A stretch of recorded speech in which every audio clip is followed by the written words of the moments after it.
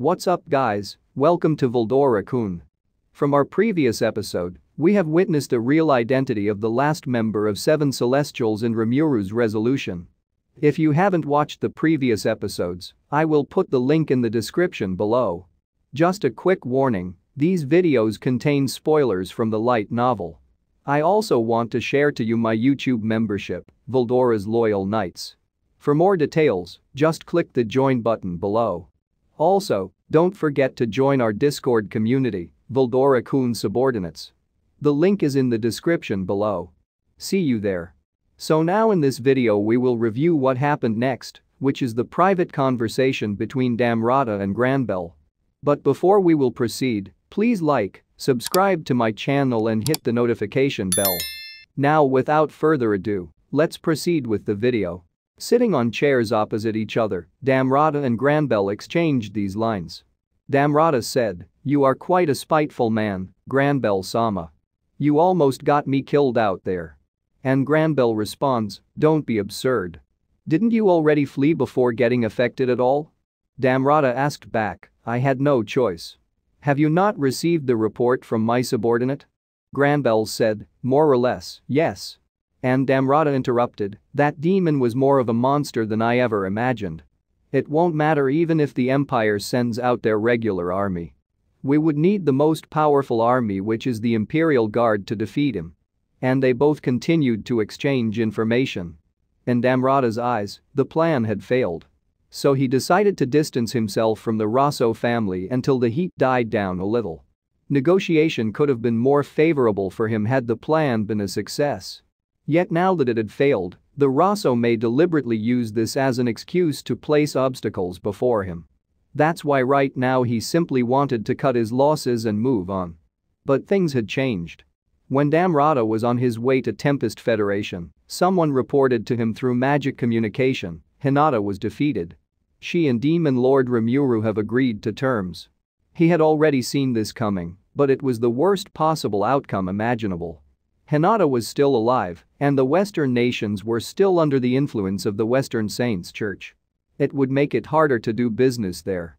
If she had made peace with Rimuru, it was unlikely anyone could trigger that demon lord once again to eliminate her.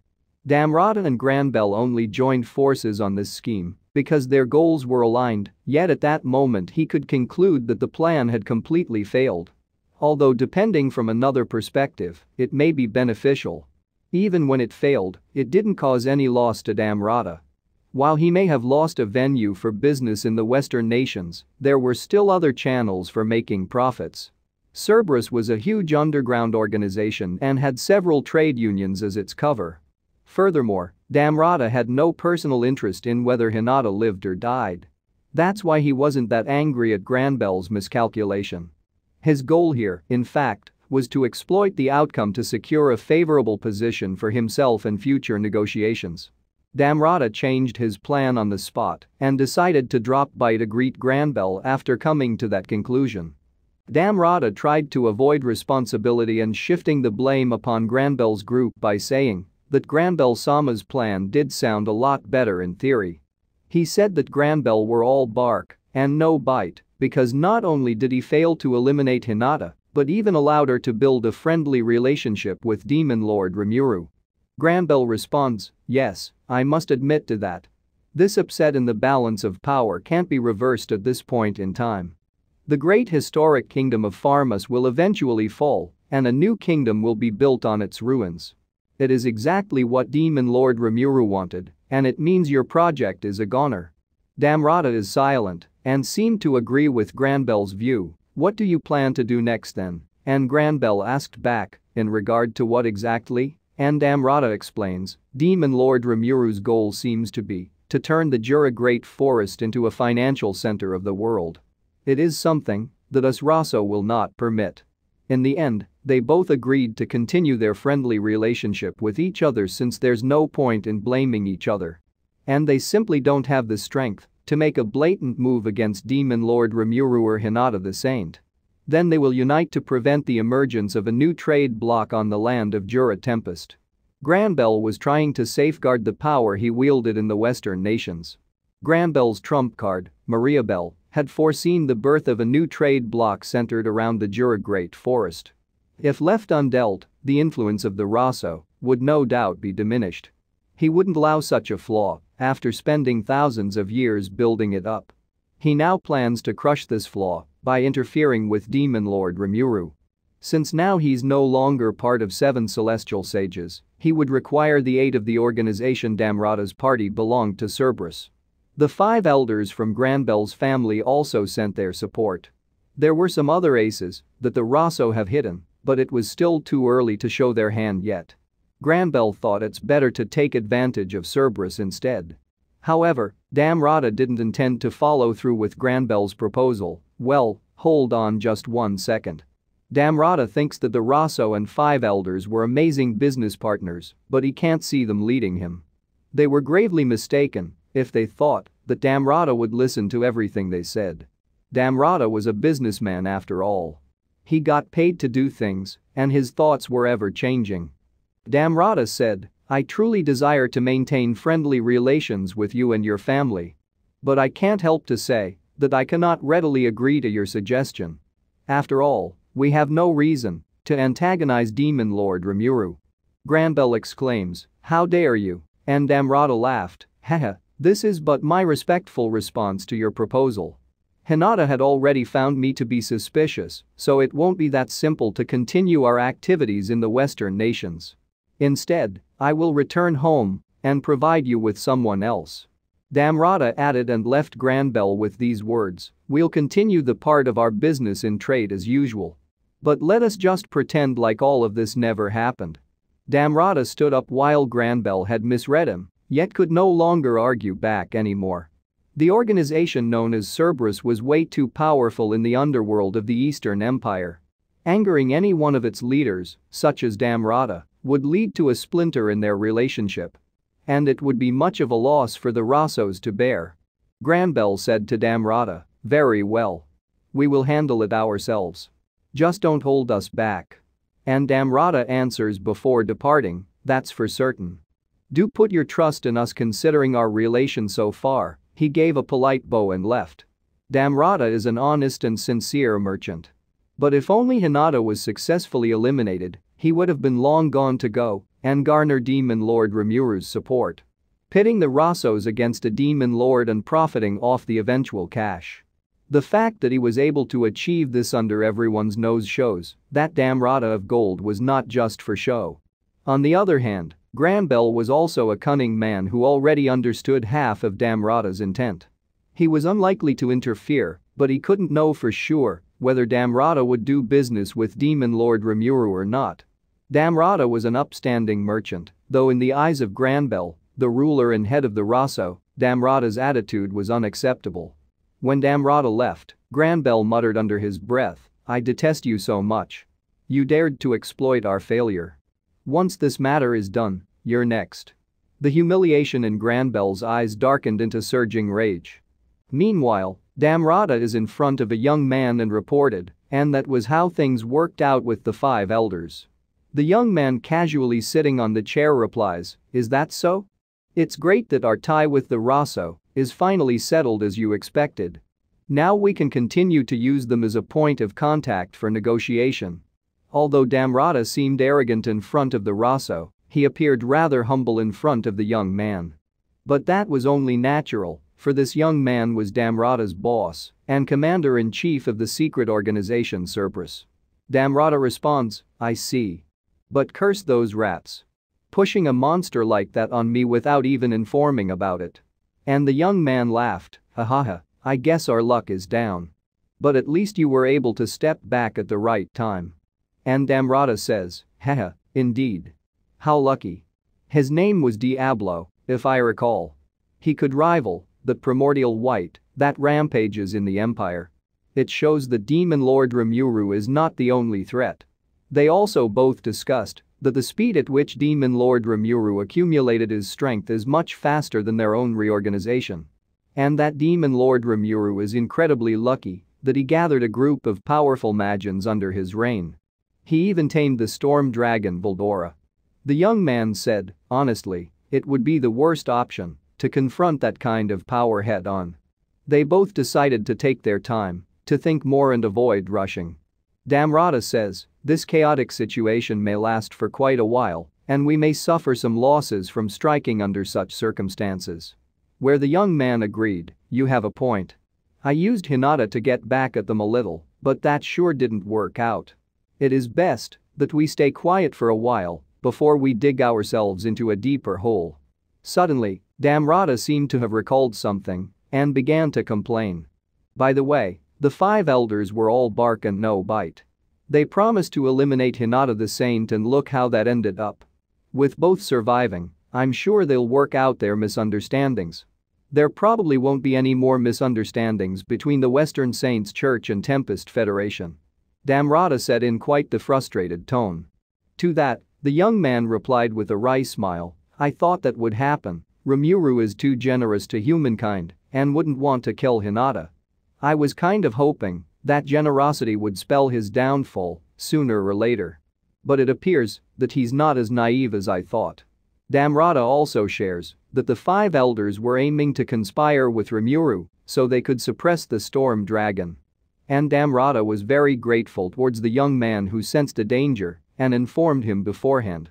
If not, he would have encountered Hinata before she went to find Demon Lord Rimuru. The young man's priority who formed the secret organization Cerberus aimed to dominate. He wished to conquer the entire world. Damrada resonated with his ambition and greatly admired him. Even though he would laugh such a notion off under normal circumstances, Damrada had a hunch that the young man can make this a reality. That's why he didn't doubt the young man's order.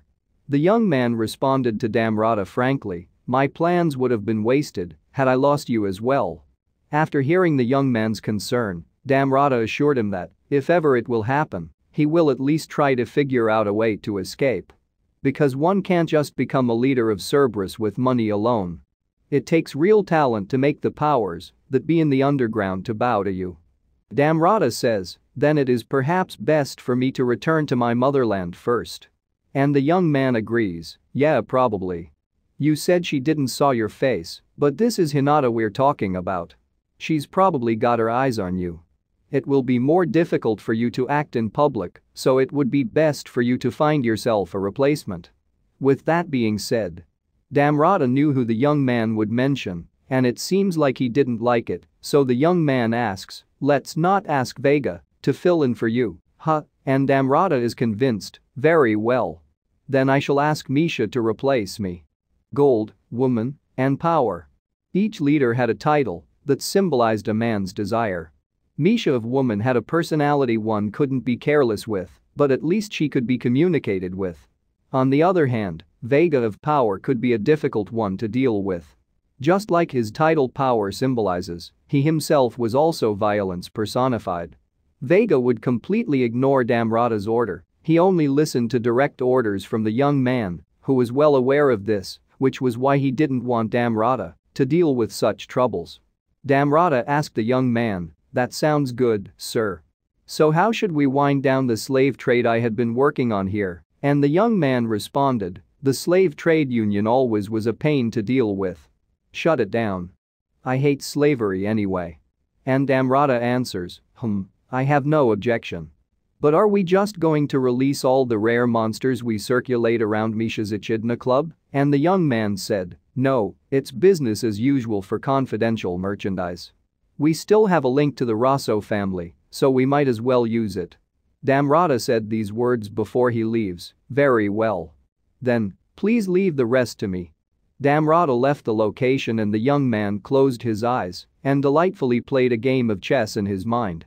Then he heard tapping of footsteps. His lips curled into a smile as he spoke to the woman behind him, a secretary. He asked, did you catch all that, Kazarium? And Kazarium replied, loud and clear, boss. But why did you want to dismantle the slave trade union? This is Kazarium, a trusted confidant and advisor to the boy. The young man answers her question, it's simple. I wish to sell him a favor this time. And Kazarium asked again, is that the only reason? Where the young man explains, do I really need to say the other one? The whole of the Jura Great Forest is now under that slime's rule. If we go monster hunting there, we'd get crushed. If that's the case, wouldn't it be more beneficial for us to dissolve the shop early? Kazarium is now clarified, I see. That does seem to be the case. We just need to protect our cost assets, huh? Like a lizard that's lost its tail. And the young man asks, right? Can I entrust this task to you? Selling him a favor. Oh, him, you mean? You come up with the most interesting ideas sometimes, boss. I see how this is. Please leave it to me then. And the young man is assured, hmm, I'll be counting on you, Kazarium. Kazarium replies back, of course. And by the way, I hope you can call me Kagali from now on. The young man's eyes turned white at Kazarium after hearing his words and asked, oh. Have you finally made up your mind? And Kazarium answers, yeah. With Clayman dead, it's time to step up. Before I can take my revenge against Leon, the name Demon Lord Kazarium needs to be sealed up. Where the young man is amused and said, sure thing. Then, Kagali, this is quite the sudden request. But anyhow, I'll be entrusting you with the matter. Kazarium replied back, I've got it covered, boss. They gave a glance on each other and grinned, opening the curtain on a new age of chaos. And that's it for my video. Now, it's shout out time. Welcome to the new members of Veldora's Loyal Knights. Thank you Jeremy Guire.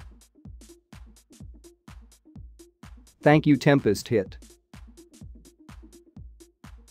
Thank you First Last. Thank you I'm bored senpai. Thank you Shazam. I also want to thank my beloved existing loyal knights.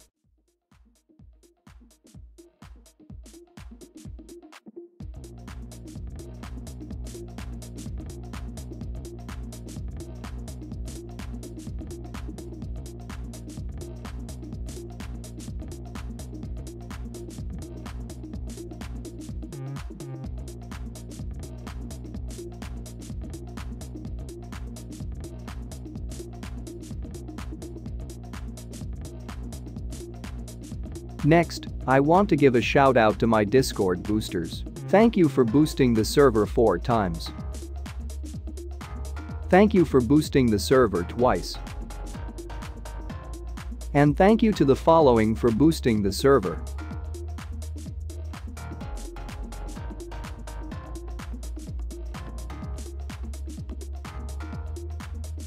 Thank you so much everyone. See you in my next upload.